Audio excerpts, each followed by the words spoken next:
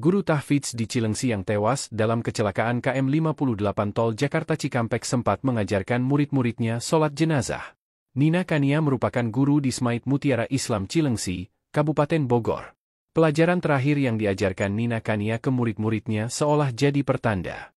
Sebab, Nina Kania terakhir mengajar tata cara menyolatkan dan memandikan jenazah. Nina Kania jadi satu dari 12 korban meninggal dunia dalam kecelakaan KM 58 Tol Jakarta Cikampek, Karawang, Jawa Barat, Senin, 8 April 2024. Nina yang bekerja di Cilengsi itu hendak mudik ke rumah orang tuanya di Ciamis. Menurut kakak iparnya, Syarif Hidayat, Nina berangkat dari Cilengsi usai subuh, sekitar pukul 5.15 waktu Indonesia Barat.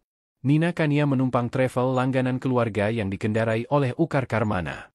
Syarif Hidayat juga mengatakan, travel yang ditumpangi Nina Kania itu merupakan langganan keluarga sejak 10 tahun lalu. Bahkan istrinya langsung menelepon pihak pemilik travel saat mengetahui kabar tersebut.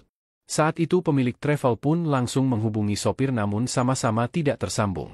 Sementara itu, orang tua murid yang diajar oleh Nina Kania mengaku terkejut dengan kabar tersebut. Bahkan murid-muridnya sangat sedih dengan kepergian sang guru.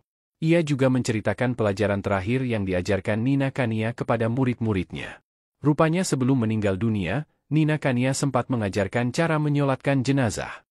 Hal itu sontak saja membuat murid-muridnya ingin bisa mempraktekkan ilmu itu dengan menyolatkan sang guru tercinta. Kabit Humas Polda Jabar, Kombes Jules Abraham Abbas mengatakan, dari 12 jenazah baru dua yang teridentifikasi. Kedua jenazah itu merupakan warga Ciamis dan Bogor. Download Tribun X sekarang, menghadirkan lokal menjadi Indonesia.